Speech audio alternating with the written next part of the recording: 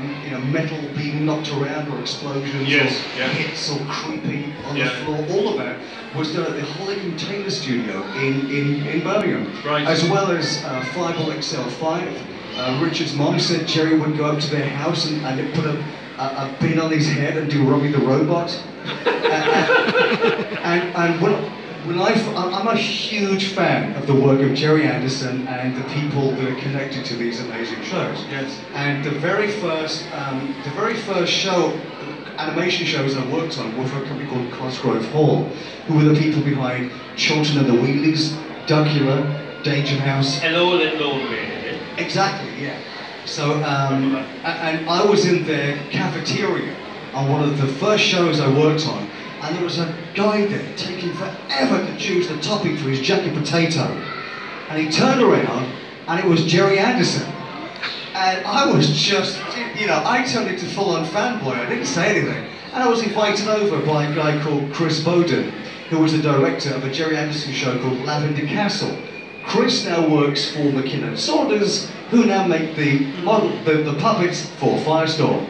And I ended up having just this wonderful lunch with Gerry.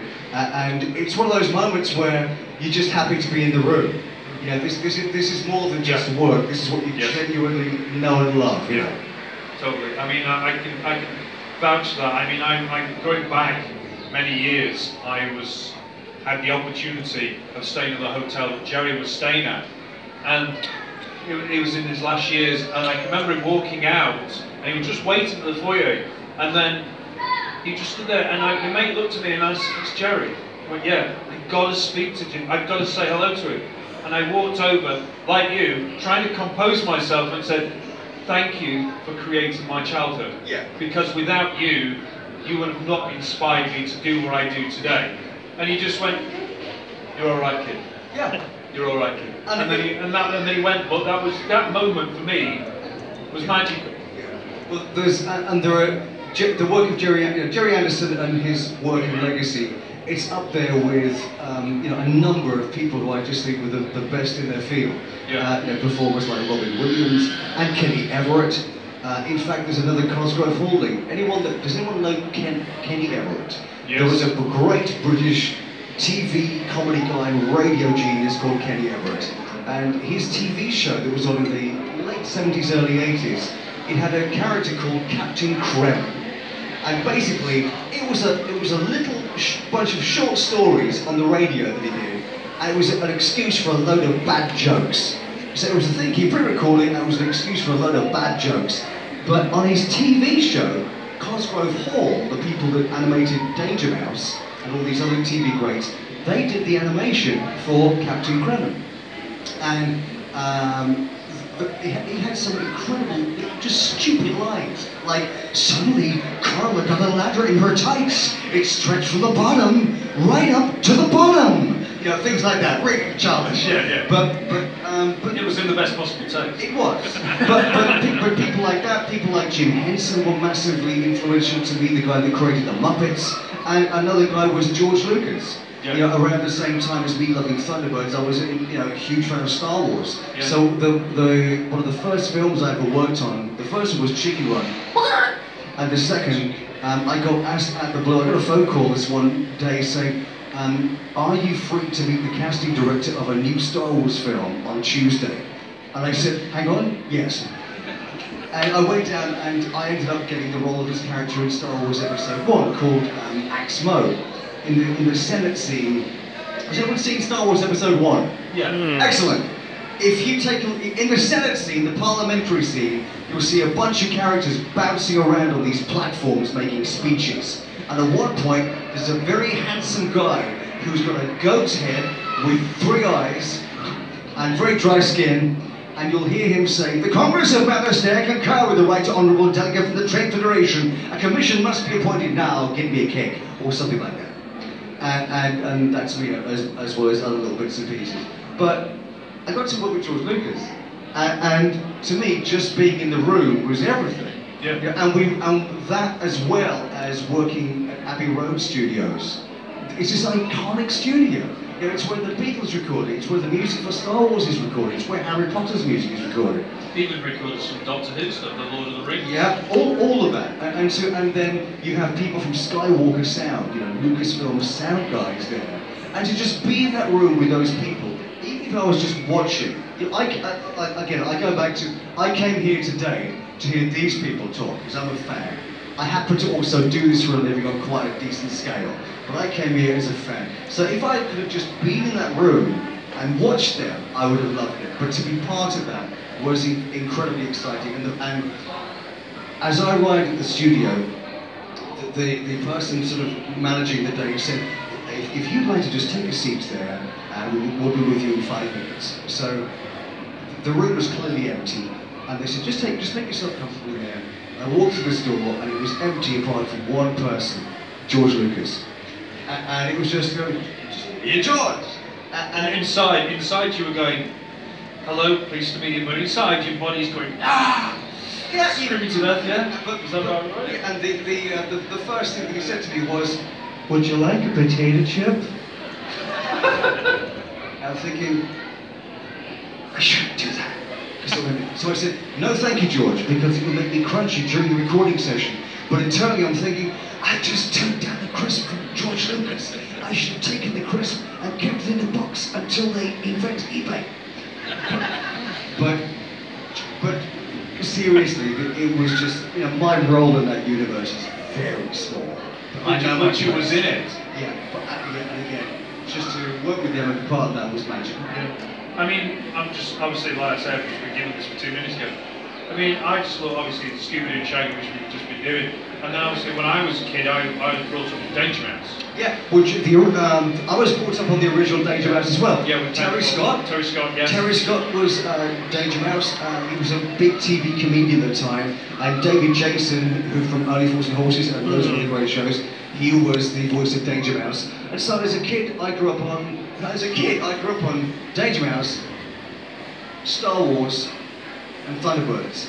Yeah. now I mean Danger Mouse, Star Wars, and Thunderbirds. oh, and Scooby Doo. Yeah. So um, David Jason was originally Danger Mouse, and Terry Scott was Penfold, and uh, and they had a, a little uh, sidekick called Nero, Baron Greenback's evil caterpillar. Well, in the new Danger Mouse, I'm the voice of his evil caterpillar. So you'll hear him making all these bizarre sounds like, and I'm the voice of that, as well as we've done a, we did a Penfold audio book Right. where Penfold talks all about working with Danger Mouse. So that's on Penguin Books. We've done a live show on the voice of Penfold as well. And there's across the series, um, I do a load of cameo voices. So in series one, I'm the voice of just over, I think it's 31 characters in the in the first series. Only 31. I couldn't do 32. I wasn't versatile enough. So I gotta try harder. But but I was 31 characters, and so there'll be people that walk on, do a gag, and Yeah, run off again. yes. But I'll, I'll be the voice of a lot of that stuff as well. Yeah. I mean, when you did that that character, it, the thing that clicked into my head from my childhood watching those kinds of shows. Can you remember a series called Trapdoor? Yeah, yeah. Berk, feed me. Yep. And, and I'd like to see that come back. Yeah. Because at the the day, Danger Mouse still relates to children nowadays, as, as Thunderbird relates nowadays. One of the things that, that's so timeless about Thunderbirds as well is the fact that it is it's puppets. It, it's even though it, it could be done, you know, the, the new Thunderbirds. I think um, it's really found its feet now, and I adore being part of the new Thunderbirds. I play a character called Captain Rigby. Captain Rigby. If you've seen season three of Thunderbirds Are Go, you'll hear you'll see a guy who's Mr. Super Cool. He has the greatest hair in show business. So this, I'm, I'm the voice of him. But when you look at the you look at the combination of models and CGI for the characters. The models in the new series of Thunderbirds Are Go, um, the backgrounds and the ships they're, they're models, whereas the the uh, the actual characters themselves they're CGI. And, and the, the mix is incredible. But if, if all you want, if you just want to spend 60 seconds, just watch the opening credits of the new series of Thunderbirds, the reboot of Thunderbirds. And those opening titles are astonishing. The, the music is so cinematic by Ben Foster. And they've used the original guy's voice from um, that voice that you Peter Dyneley that you hear going five, four, three, two, him. They've used the original recording of that, but sped up the timing of it uh, and, and mix that in with these incredible orchestral hits. Have we found Jeff yet? No. What? No, no, no. Why? He's not around, is he? Where is he? Who Do you know? knows? Can, can, can, can you give let us? I would not know. He's not around anymore, right? You say that, it shows. What are you suggesting? Do you know something we don't know, Mr. Winky? Maybe. Really now. But something else that, that's terrific with these voices. A lot of uh, Thunderbirds Are Go, the acting style in the new series of Thunderbirds, i it's very real world like. It's uh, there'll be some cartoons which are really larger than life. Woohoo! It's all you know, which will be very hyper reality. Um, whereas Thunderbirds, the, the new series and the original series, it was always steeped in this reality, which again has helped, I think, make it stand the test of time. And one voice that's been constant throughout every season of Thunderbirds is Parker. And David Graham, the original voice of Parker, again, he was a huge inspiration to me.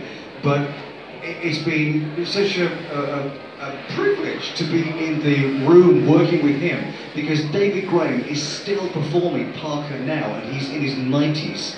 And he is such a gentleman, but he's so modest about the whole thing. To me, he's, he's voice acting royalty Yes. but his he his demeanor is that of just a, a very um, a very unassuming just regular actor So when you obviously, I, I was talking to Shane and how they did the original Thunderbirds, which literally they just got a boom from the from the ceiling.